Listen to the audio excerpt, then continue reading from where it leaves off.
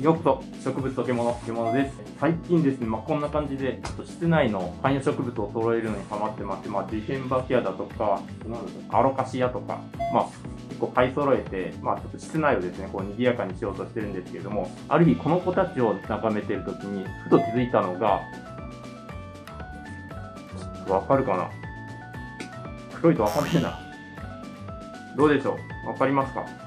これが答えになるんですけれどもさっきの。鉢底と受け皿がすっごい密着してるんですよね。わかります？もう隙間がないぐらい。で、まあ、こちら、まあ、皆さんが好きなアガベなんですけれども、まあ、これ、他の動画にも出てたあのアガベの白芸胴切りってやったんですけども、まあ、これ見てもわかる通り、鉢底と受け皿がすごい密着してるんですよね。まあ、これがなんで良くないかっていうことなんですけれども、結局、植物って空気が常に必要じゃないですか。空気がないと酸欠で根腐れしちゃう。それをうまい具合に活用したのが、こういうスリットポットっていうやつなんですけども、まあ、そこの方にスリットが入っていって、まあ、空気を取り込んで、まあ、根が元気になる。まあ、根もこうぐるぐるとサークリング現象っていうんですけども、詰まらずに、まあ、わさわさとえー、生えてくれるっていうのはこのスリットバチのすごいメリットで、まあ、自分スリットバチ信者なんですけども、まあ、今回はですねこのスリットバチを使っていない鉢、まあ、例えばこういう鉢で、まあ、平らの受け皿をしちゃうとここが密着してコップ状ですねコップ状。コップ状になって根が酸欠、まあ、根腐れしちゃう。すごいこれ鉢の種類にもよるんですけれども結構そのかっこいい鉢ってそこがこう平らになってるんですよね、まあ、スリスリットが入ったりしてるとダサいっていうのはダサいんですけども、自分はちょっとあの育成重視でスリットバッチ信者でスリットバッチを使うんですけども、結構見た目にこだわる方っていうのはかっこいい鉢使われてて、これストーンとこうされてる鉢を使ってる方が多いと思うんですけれども、そういった方たちに対しても、まあ、健康に育てていただきたいので、今回言いたいのは、鉢と受け皿の間を開けましょうということで、まあ、根腐れしやすいし、まあ、根もちょっと育ちづらいよっていうことですよね。で、こういうのがあるっていうのは結構皆さんご存知かと思うんですけど、まあ、これスリット受け皿みたいな感じで、商品名が根腐れ防止プレートっていうらしいんですけども、これ結構なんかいろんなメディアとかでも、まあ、皆さん紹介されてて、まあ、ご存知かもしれないですけど、これいかんせんですね、サイズ展開がないんですよ。これ5号なんですけれども、まあ、ちょっと自分が調べただけで、サイズ展開が4号、5号、この次が10号なんですよね。10号って言ったら皆さん 3×10 なんで30センチですよ。だいぶ、これの2倍だ。だいぶ大きいですね。私の顔よりも大きいぐらいサイズ。ということで、まあ、ちょっとサイズ展開がないのと、これあんまり売ってないんですね。自分調べたらもうこの5号しか置いてなかったので、近所の園芸屋さんにですね、ちょっと自分でどうにかできないか、この浮いてる感じをどうにかして作れないかっていうのをちょっと今日はやってみます。で、まあ、これを作る条件なんですけども、要はこれ、ちょっと浮かせたいんですよね。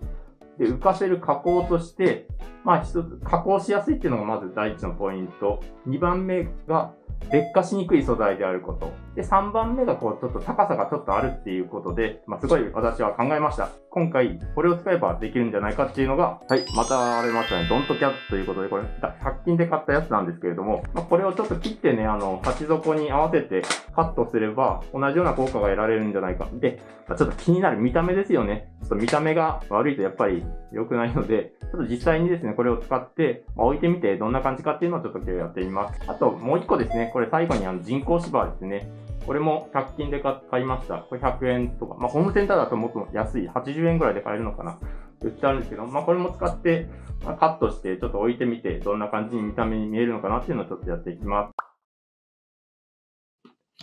じゃあ、まず、ドントキャットの加工の方からしていきます。まあ、トレイに合わせて、ちょっとカットの方をしていきます。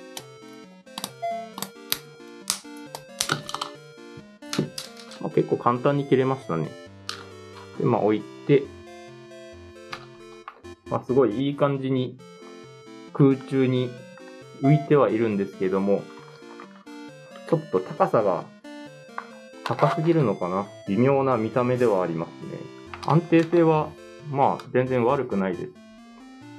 次、人工芝行ってみます。まあ、鉢底に合わせてこちらも同じように切っていきます。まあ、思ったよりですね、この人工芝パッと見、厚みがないように見えるんですけど、この下のこの凸凹の、なんだろう、ダダボっていうんですか、これのおかげで結構高さが出がちですね。まあ置いてみるとこんな感じです。まあちょっと、ダサいっちゃダサいですね、これ。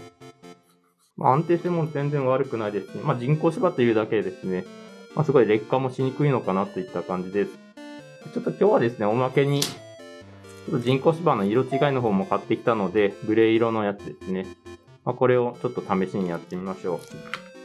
う。はい、できました。さっきの緑色よりはちょっと自然かなっていったとこですね。まあ、ただやっぱり、かっこ悪い。まあ、すごい安物のあれなんで、あれなんですけども、結構高い、なんかかっこいい鉢使われてる方ってやっぱ見た目をすごい大事にされてますし、僕みたいになんかチャランポランじゃなくて大事にされてるので、まあ、ちょっとこういう風にですね、下にこういうのが見えるのはどうかなっていうのが、えー、まあ、そもそもなんですけれども、えー、ありますね。ただやっぱりこっちの方が、まあ、もちろん植物に対してはすごい酸素も行き渡りますし、根腐れにも可能性も低くなる。粘りも良くなるので、まあ、できればですね、あの植物育ててる方は、まあ、アガベに限らずですよ。まあ、こういった木を使ってあげるっていう一工夫で、まあ、育成もかなり違ってきますので、まあ、ぜひですね、ちょっとやるやらないかちょっと考えていただいて、まあ、自分のですね、この美的感覚と天秤に掛け合わせて、ぜひですね、やってみてはいかがでしょうか。ちょっとかっこ悪いな。なんでこんなかっこ悪いんだ。四角になってるからかな。ちょっとこれを丸く加工してみます。うーん。なかなか、えー、難しいですね。おしゃれと我慢は紙一重みたいな言葉があるように、人工芝とですね、まあ、通気性は紙一重ということで、えー、よろしかったでしょうか、えー、今回もご視聴いただき本当にありがとうございます。参考になった方、ぜひですね、グッドボタンを1回だけ、あとこれからもですね、まあ、このように役に立つお役立ち情報を発信していきますので、ぜひですね、チャンネル登録よろしくお願いします。ご視聴ありがとうございました。